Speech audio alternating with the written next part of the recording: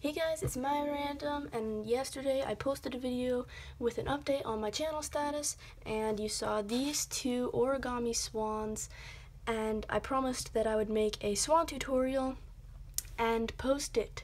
So that's what I'm going to be doing right now, so let's jump right in.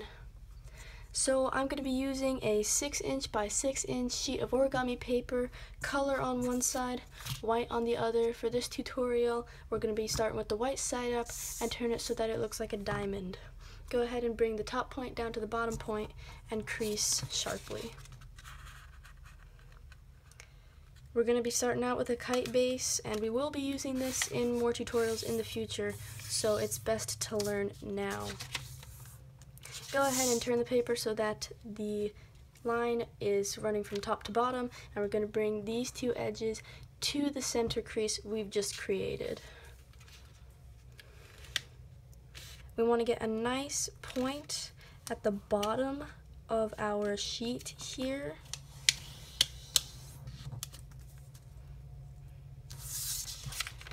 So we're going to go ahead and do this on both sides.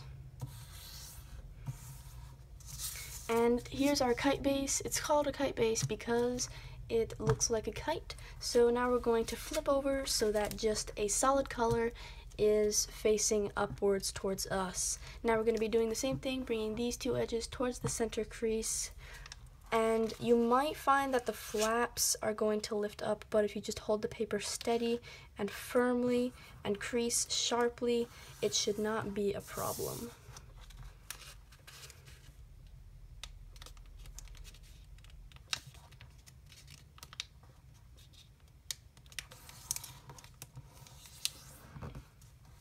Now with the point facing away from you, bring the top point to the back bottom point.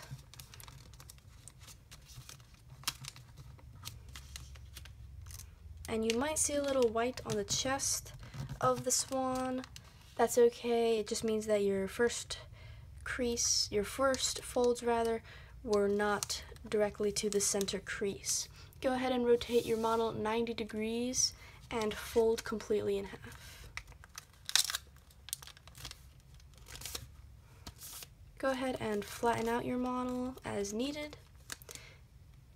Now this part is a little bit tricky, so just follow along with what I'm doing. You're going to slightly pinch the neck here and pull up a little bit until you get about a 45 or 50 degree angle. Then push down here to make a crease.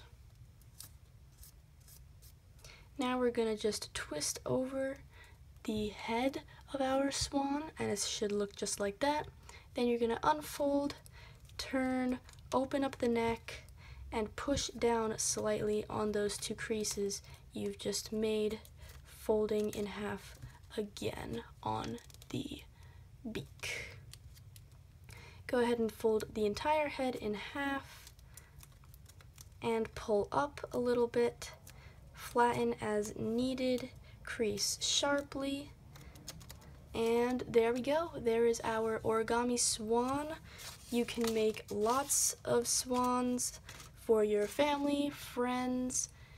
They, it is a very simple tutorial, a great great little project if you have um, a couple minutes of spare time. Hope you guys enjoyed this video. Like, comment, subscribe, share with your friends and family. They'll love it as well. It's very simple and very enjoyable. Thank you for all the support you show my channel.